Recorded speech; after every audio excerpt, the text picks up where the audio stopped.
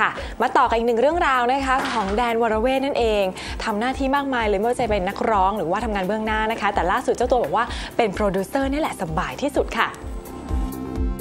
หนูคิดจริงๆด้วยไม่ตั๋วเต็มหมดแล้วถ้าเกิดว่าพ่อมีตังค์พ่อสมัครไม่ได้ใช่ไหมไม่ได้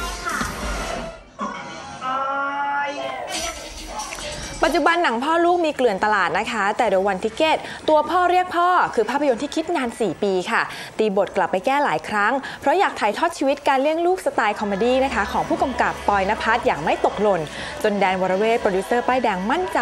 ลงสนามในฐานะนักแสดงด้วยตัวเอง พร้อมกับเชิญ True Inside ตามไปจ่อไมค์แบบ exclusive ถึงกองเลยล่ะค่ะ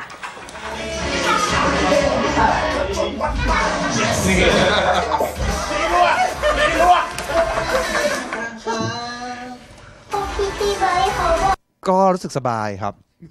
ทำงานน้อยลง ประชุมก็ไม่ต้องเข้าเยอะ มีเวลาให้เราได้มีสมาธิในการเล่นเผื่อให้กับเอ่อหลายๆแบบให้กับผู้กำกับเขาได้ได้ได้เลือกว่าเอ้ยแบบไหนที่มันใช่ ให้เขาเป็นคนเล่าเรื่องอารมณ์เรื่องมุมกล้องไปแล้วไม่ต้องกังวล แล้วก็มาคอยดูเป็นภาพภาพรวมมีผมว่าดีกว่ากันเยอะมากครับ ได้ concept เกี่ยวกับเรื่องตั๋วมา ถ้ามีพ่อแย่ๆคนหนึงเอาตั๋วลูก เอาตั๋วที่ลูกอะ เก็บเงินทั้งหมดมาทั้งชีวิตเนี่ยเพื่อที่จะไปดูวงที่ตัวเองชอบเอาไปใช้อย่างอื่นเนี่ยเออมันจะเป็นยังไง มันก็เลยเกิดโปรเจกต์นี้ขึ้นมา ก็คือตอนแรกที่จะเลือกนักแสดงเนี่ย ผมก็คุยกับแดนอยู่แล้วว่าเรื่องนี้ผมอยากให้แดนเล่น เพราะว่าใกล้ชิดตัวผมมากที่สุด แล้วคนอื่นก็มีการแคส มีคุยกับนายไปหาพี่แอนนาที่บ้านไปหาพี่โจอี้เหมือนตามหาตั๋วเลยครับ แต่ว่าจะต้อง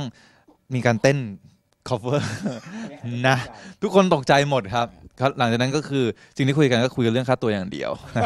ที่ต้องแพงขึ้นการเป็นระดับนะครับค่าตัวมาก็ทุกอย่างก็ง่ายก็ง่ายก็ง่ายครับครับเนื้อหาสาระจริง ๆ เราก็เจอแล้วว่าอ๋อเฮ้ยจริงๆเรื่องการดูมองดูคนรอบข้างเนี่ยนะครับ ว่าเอ้ยกำลังใจเราอยู่ตรงไหน เราจะสร้างครอบครัวหรือสร้างสิ่งแวดล้อมของหนังให้เป็นยังไง ให้มีเนื้อหาสาระมากที่สุดขอบคุณมากนะฮะไม่ลอยได้บ้าย สำหรับใครครับที่อยากฮาแบบสุดติ่ง 31 ธันวาคมนี้ห้ามพลาดเลยนะครับสำหรับ The One Ticket ตัวพ่อเรียกพ่อครับ ที่ทีมงานและนักแสดง confirm มานะครับ ว่าเรื่องนี้เนี่ย สนุกแน่นอน